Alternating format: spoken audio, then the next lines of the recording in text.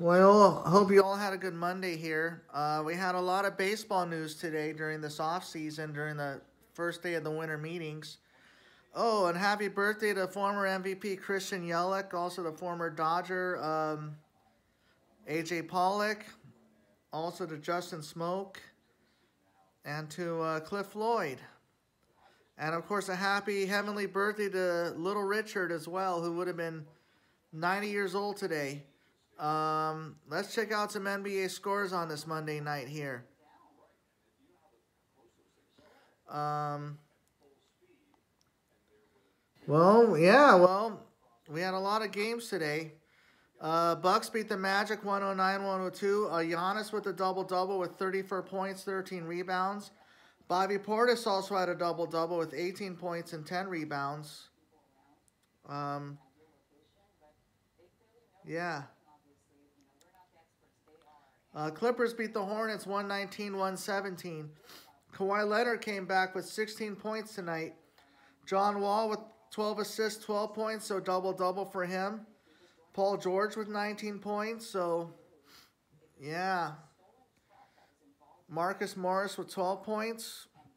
Uh, Thunder beat the Hawks 121-114. Uh, Celtics beat the Raptors 116 to 110, and they're the first team in the NBA with 20 victories.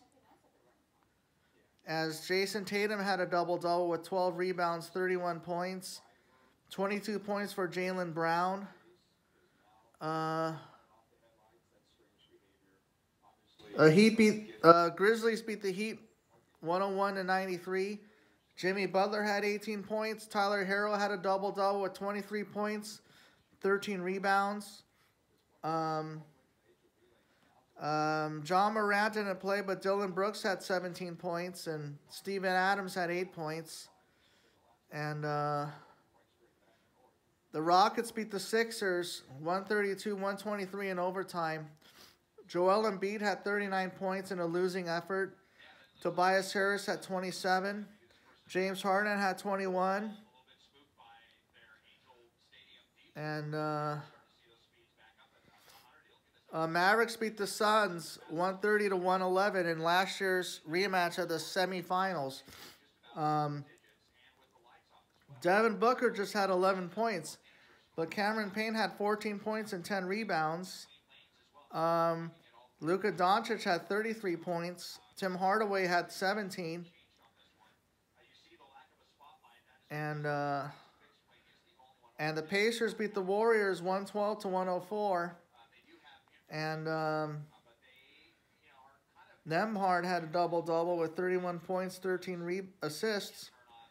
Uh, Klay Thompson had 28 points. Curry only had 12 points. Poole had 23. And yes, the Warriors suffered their second home loss of the season.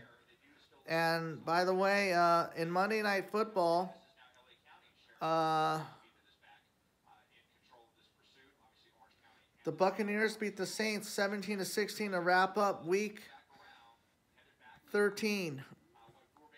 Um, meanwhile, uh, Fred McGriff is going to the Hall of Fame finally. And uh, uh, Trea Turner just signed an 11 year, $300 million deal with the Phillies. And uh, it's hard to say goodbye to Trea, but, you know, Money talks, bullcrap walks. And Brian Cashman signed a four-year contract to remain general manager. And yes, I'm sure the the NL East is going to be stacked because Justin Verlander just signed a two-year deal with the uh, with the New York Mets. And um, yeah. Yeah.